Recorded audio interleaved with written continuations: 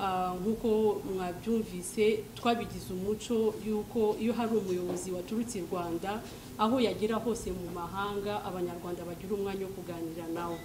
Ah, ibyo rero kubikora nta kindi kibisobanura ahubwo ni ka gaciro diaspora y'abanyarwanda ifite mu rwanda ubu ngubu. Ah, mujya mubyumva cyane iyo nyakubahwa perezida wa repubulika avuga ngo diaspora ni intara ya gatandatu y'u rwanda. Kubivuga rero ni ukubera ko ah, nk'uko tuvuga ngo nta peteroli dufite nta zahabu ariko dufite abanyarwanda no muri canada turabafite no muri diaspora turabafite. Icyo gihe rero biba biduhaye n'umwanya wo kugira ngo twungurane ibitekerezo ah, muri ya gahunda dufite yo guteza igihugu cyacu imbere n'ibitekerezo by'abantu bo muri diaspora tubigire. Nkaba rero ntari bwizimbe mu magambo ko nzi ko mwese mufite inyota yo kumva ikiganiro umushyitsi wacu yaduteganyirije. Nkaba kuri uyu munota nshaka gusaba ko madamu anita uhagarariye ah, komite ya diaspora ya hano muri ottawa nawe yagira ah, ijambo yageza ku bantu bari aha ngaha mu buryo bwo kubakira. Ni ijambo rya perezida wa diaspora nyarwanda otawa gatino adahari uyu munsi.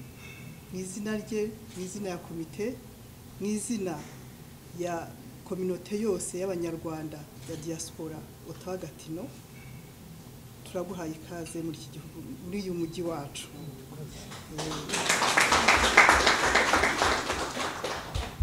Mu by'ukuri nta jambo rinini mfite ryo kuvuga irya mbere mfite n'iryo gushima. Ndashimira mbere na mbere abantu bagutumye bakohereje muri ubu butumwa kuko nibo dukesha uyu mugoroba. Turabashimira kuko bahora batuzirikana nta na rimwe batahora bohereza abantu kuza gusura abantu bino kandi bagahita banashaka kubonana n'abantu bo muri diaspora. Abo turabashimira cyane rero. Tukongera tukagushimira wowe kuko uba waje mu kazi kubona aka kanya ntabwo byoroshye. Kuri aka kanya turakagushimira cyane kuko uba waje mu kazi ka- kandi kugira ngo ubone aka kanya ntabwo byoroshye kuko uba wigoye ibintu byinshi. Ibyo bikerekana ukuntu uduhoza ku mutima utuzirikana. U rwanda ruraba- rurabatashya kandi rurabakunda. Ah, nk'uko madamu shakira yabivuze rero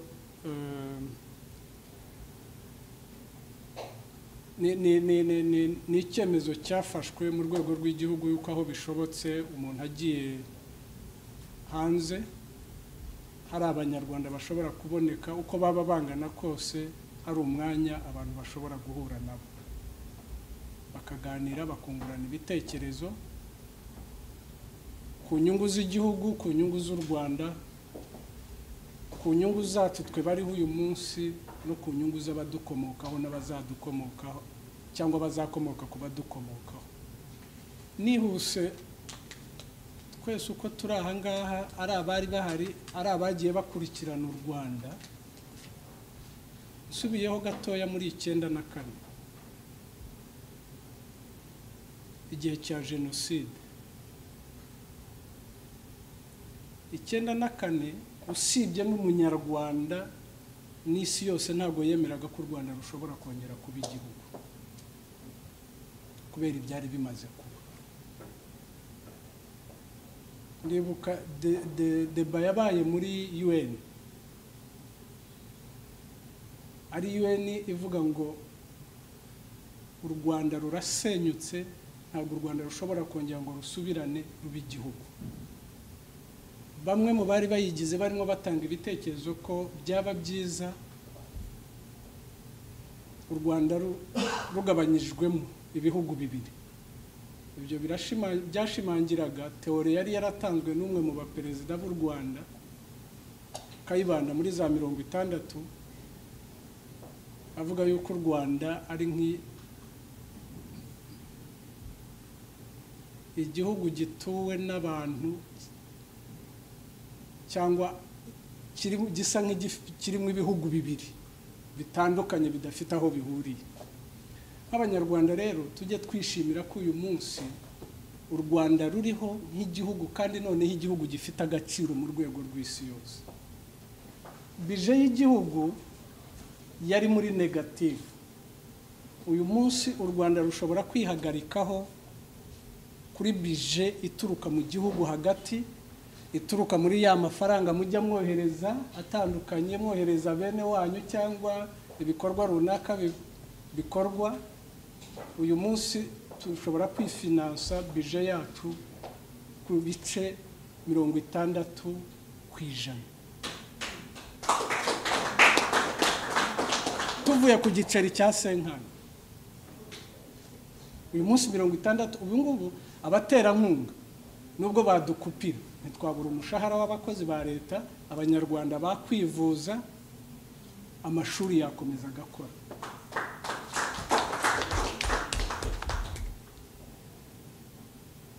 Uyu munsi abanyarwanda njyana n'ibihugu bimwe byarabyinaniye babarirwa ejo bundi mu mibare yagaragajwe na n'ibarura rusange ryakozwe. Igaragaza yuko abanyarwanda babarirwa muri hafi mirongo cyenda ku ijana bafite inshuwarensi yo kwivuza mituweli de sante bashobora kwivuza. Ba bandi utatekerezaga ko icyenda na kane bashobora no kubaho uyu munsi bageze aho ngaho.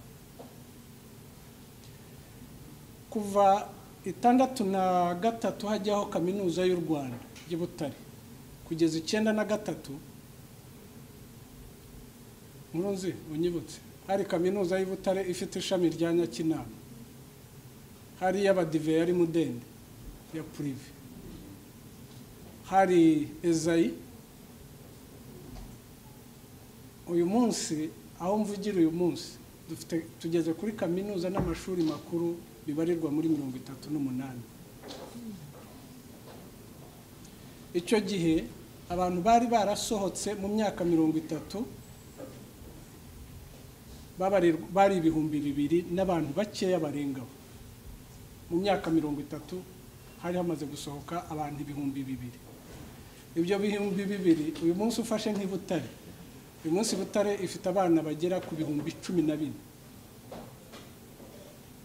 Wafata yerika ifite umubare w'abana ibihumbi cumi na bibiri n'ibindi bisagaho.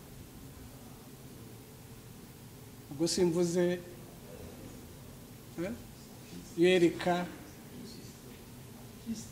hari umuntu ngo byigeze gucanga akavuga ngo ngo biramucanga ngo kuvuga yerika yenerake na beka na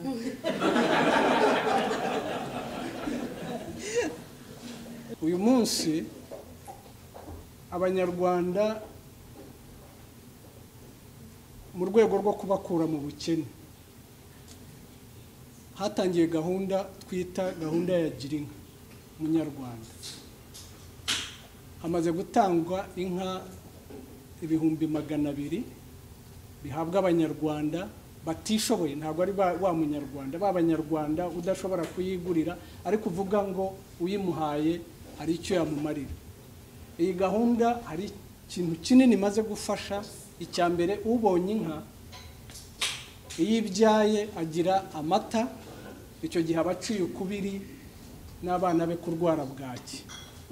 Byatumye imibare ya bwaki yari iri mu rwanda imanuka bifatika kabisa. Muzi yuko turi muri east african community nababwiye ko nari ndaha mu rwego rwa komesa i mean commonwealth Eh, na komesa turi ubwo byabaye byinshi ndabivanga. Hari aho tumaze kugera.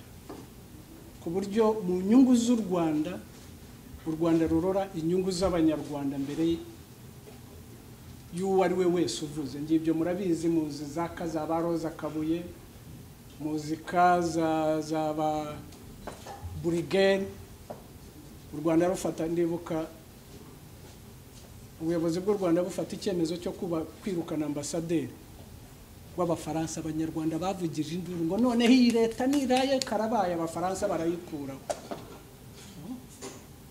abafaransa bari muri entere zabo z'igihugu cyabo natwe tugomba kudefanda entere z'igihugu cyacu kandi tukihesha agaciro. Twebwe nitutadefanda entere zacu ntawe uzazidufasha kuzidefanda. Azadufasha ahubwo kuzisenya uyu munsi rwa rwanda un yatekerezaga ko ntacyo rumaze. Uyu munsi aho rukomeye baza kwitabaza ingabo z'abanyarwanda. Darifuru twari aba mbere kandi ingabo zacu iyo zigiyeyo ntabwo zigenda nka za ngabo za un uyu munsi muri darifuru bamaze kubakira abaturage amasoko bamaze kubakira abaturage amashuri babigishije gukora umuganda babigishije ibintu twita rondereza bamwe ntimushobora kuba mubizi by'amashyiga. Ushyiramo urukwi rumwe rukagira rute rugateka. Barabibigishije ibyo bituma ingabo zacu zitandukana n'izindi ngabo ziriyo kuko abaturage babona hari icyo zibamariye. Ntabwo zaje guhaha cyangwa bya bindi bakitwa ngo ni ingabo ibipfa n'ibijya bite ntibaba aha bo baragenda bajya no gukemura ikibazo cy'abaturage. Kansoreze muri regiyo. Uyu munsi muzi yuko turi muri east african community igizwe n'ibihugu bitanu. Uburundi tanzania u rwanda uganda na kenya. Hari ibintu byo guseta ibirenge abantu bamwe badashaka kwihuta. Bigeze kugira umushinga na, na, tanzania wo gukora gari ya moshi. So abatanzaniya bagenda baseta ibirenge bafite ikintu cy'ikibazo cyo kumva ngo nibafungura abanyarwanda barafata ubutaka bwabo abanyakenya barajyayo bacuruze babacure umwuka babacure na bizinesi noneho bigatuma bafunga bagenda bigura intege mumaze iminsi mwumva kubera uko kudindira ukuntu ibintu byagombaga gukurikiranwa gushyiraho kasitama imwe twese duhuriyeho gushyiraho ifaranga rimwe duhuriyeho n'ibindi bikorwa by'amajyambere. Haje gufatwa icyemezo y'uko abashaka kubikora bari tayari bihuta uyu munsi u rwanda na kenya na tanzania amini na, na uganda hakaba hari ibintu bimaze kwemeranwaho. Gari ya moshi igihe ejo bundi basinye amasezerano na banki y'abashinwa igiye gutangira kubakwa bahereye muri kenya. Ariko gahunda ihari ni uko n'ibindi bihugu nibimara gusinya bashobora kubaka bahereye bakaba bakubaka kenya bakubaka uganda bakazagera aho bahurira n'u rwanda. Uwo mushinga ugiye gutangira. Hari ibintu by'imihanda dufatanyije. Kuko iyo usaba amafaranga mugasaba muri buroke biroroha kurusha gusaba ari nk'igihugu kimwe. Ubu umuhanda wa kuva kigali kunyura iwanyu hariya. Ujya gatuna ukomeza ujya uganda urimo urakorwa. Ku nkunga bose basabiye hamwe bafatanyije. Hari igitekerezo cyo kubaka oil pipeline. Kuyikura muri kenya ikanyura muri uganda ikaza mu rwanda kugira ngo ishobore kudufasha. Redoreti muri kenya ni ho bashaka kuyifatira hari n'indi mishinga barimo bagerageza gushakisha uko bahuriraho mu rwego rwo kwihutisha no kubaka igihugu cyacu. Ibyo byose bifite ikiguzi cyabyo bifite icyo bisaba birasaba ko twese tubigira ibyacu tukabyumva kimwe aho buri umwe wese ashoboye akaba yatangamo inkunga ye. Ibyo turimo turabikora tutaragira n'abatekinisiye bahagije bashobora kubikora. Hano hari abatekinisiye b'abanyarwanda mwiza